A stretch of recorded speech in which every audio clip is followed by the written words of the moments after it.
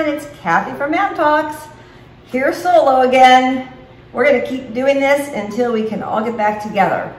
So, it seemed like everybody liked that Tom Cruise New Year's Eve cake from last week or the week before. So I thought, let's find another celeb and see what they like and maybe come up with a recipe for them. So it turns out that my granddaughter, who is almost 16 years old, her name is Tila, and she is the number one on the planet Harry Styles fan. I promise you, she is the number one fan. So I thought I would make something up that has to do with Harry Styles. So guess what? The guy loves Twix. Twix, the candy bar Twix, they're good.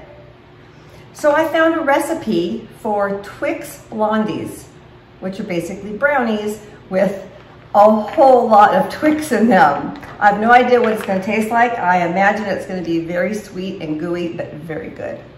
So for today, just to remind everybody, I am going to be using a wooden spatula. It's from an Etsy.com store and it's called Loki's Workshop, capital L-O-K-I-S, capital D-O-W, capital W-O-R-K-S-H-O-P. It will be on the uh, website and on the YouTube. If you want to purchase any of his handmade goodies, and they are beautiful, look at this. I mean, come on. Gorgeous, gorgeous. You go to his website and you'll get 10% off if you use the code MAAMTALKS10, M-A-A-M-T-A-L-K-S 10. Okay, let's get going. So for this recipe, the first thing besides preheating the oven, it also said to take a 13 by 9 pan, cover it with tin foil, and spray it. Set it aside. I got that noise, done. Okay, three quarter cups of melted butter, which I actually just poured in there because it was hot and I don't want to burn myself. We're also going to take two cups of light brown sugar. And the reason I'm putting this on is because the brown sugar was a little kind of hard, so I put it in the microwave to soften it, which works, but it also makes a bowl very hot. So maybe that wasn't the best idea. And now we're gonna do this on low for a little bit. Here we go. And off. And now we're going to add three lovely eggs, two teaspoons of vanilla. I'm very generous with vanilla because I love vanilla and I love the smell of it. So I always think, ah, a little bit more would be not too bad. And then we're gonna put in two teaspoons of baking powder.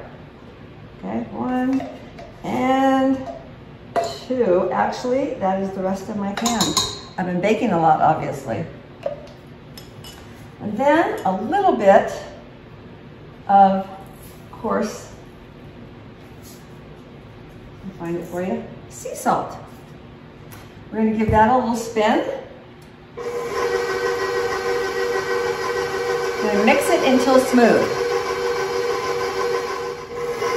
Now with the mixer on low, we're going to add two and a half cups of flour. Now let's do a little bit at a time. Let it kind of blend in. Blending. So this is kind of fun looking up different recipes that some of the celebs like and then sometimes just an item like Twix and then finding something that you can make with it. That's, that's a fun challenge for me. So we're gonna keep going here. I'll put in the rest Just throwing it all in. You know, I, I follow recipes, but I also like to just get it in there and be done. I'm gonna stop it for a minute and just kind of push down the sides with this spatula. Okay, and then we will continue mixing. it goes flying around. So when this is done, oh, that mixed it really quickly. Now this is something I haven't yet tried. And this is pulling out the food processor because it wants 30 mini Twix or fun-sized Twix. It wants them chopped really well.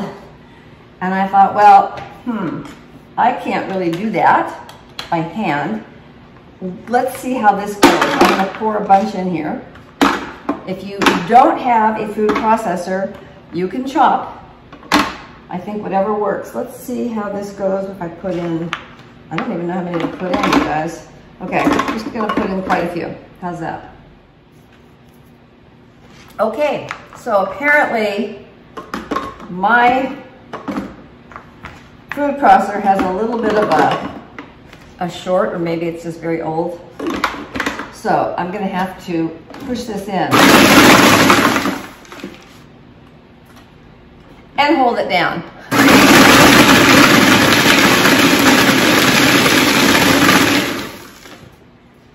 Doesn't this seem like kind of archaic how I'm doing this, you guys? This is supposed to keep it from coming out.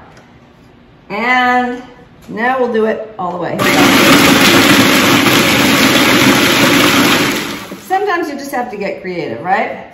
Okay, so this is all chopped. I'm going to stir this in.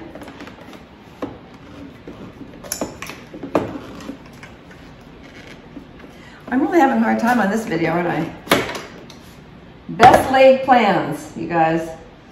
Okay, so this is the culprit that was chopping everything up. I think it gets sticky because it's got a lot of caramel.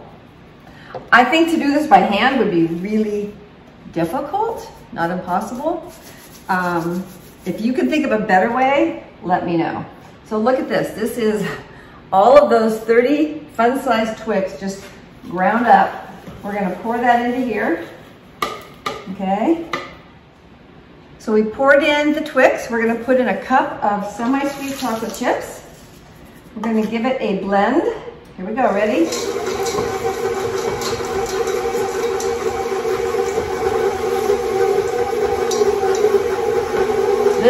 Lot of sugar, chocolate, caramel, more sugar, chocolate. But I think I think Harry Styles is gonna like this. Got to find a way to get this to him. Or at least get him to see the video. Okay, so now we're going to put this in the prepared pan. Okay. I think I can put that right here. I'm going to take this out. Seriously, if you can have a KitchenAid mixer or any kind of mixer, it really saves on your hands. Yeah, the caramel really wreaks havoc. It's the best part of it probably, but trust me, it wreaks havoc. So I've never had to do it that way. Um, it always has come out without a problem.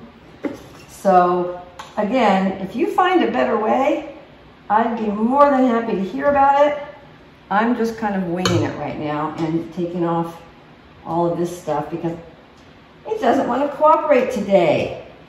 This is almost like, it is kind of a live video. I'm just going to show it to you later, but it's kind of live action. So the one thing I don't mind about it is that things happen when you're cooking, especially when you're making something you've never made before. So this batter, because it's so thick, I'm going to use Loki's Workshop's spatula one of their many gorgeous pieces. And we are going to move this here so you can see it, okay? And we're going to pour in this. It's just goopy, you guys. I can't imagine what kind of sugar rush you're gonna get. And it's thick. It's not easy, I'm telling you. This is like really, really thick. I feel like I'm, I'm fighting with it. It doesn't want to go into the pan. It just wants to stay in here. But guess what? I won.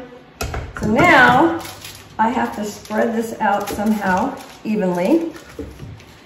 Oh my goodness, I don't think I have to do any working out today after this. I think I will be done. So it's gonna go in the oven for 25 to 30 minutes at our favorite temperature, 350, okay? And as you can see, I'm actually even struggling to spread out the batter because of how thick it is. Um, my guess is, because I've made things similar, so my guess about this cooking is that it would probably be very hard to get out of a pan and the tin foil just makes it a little bit easier. So here's the goop. Whew, I'm not kidding you. This is like, that was a workout, absolute workout. So it's gonna go in there for 25 to 30 minutes. Let me show you the goop. How's that? Let's put it in the oven. Hang on. Okay, we're off. Ready?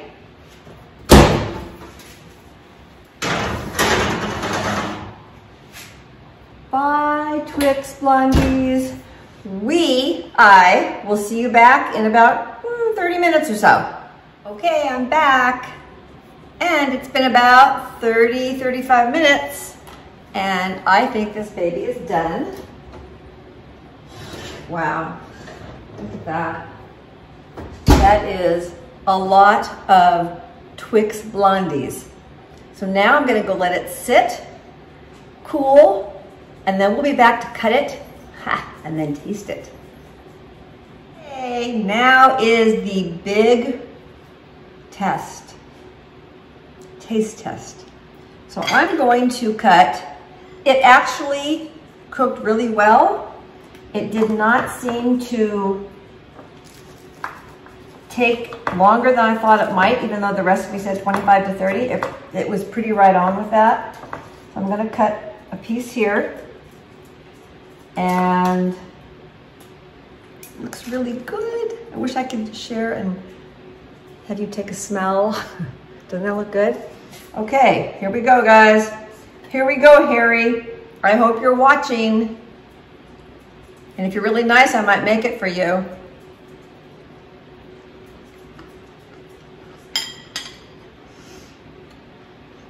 Oh my goodness. Amazing. It is not overly gooey or sweet. It is perfect. I will make sure to put this recipe on the website, www.maamtalks.com. Remember our Instagram and Facebook. Please like and share and comment. And on YouTube, of course, you're watching it. Like, share, comment, and please subscribe. We love having you. We're over 2,000 now. So we're getting really excited. And if there's a recipe you would like, a celeb recipe, or any suggestions, please let us know. Thank you so much for tuning in. Have a great week, and we will see you next week. Bye-bye.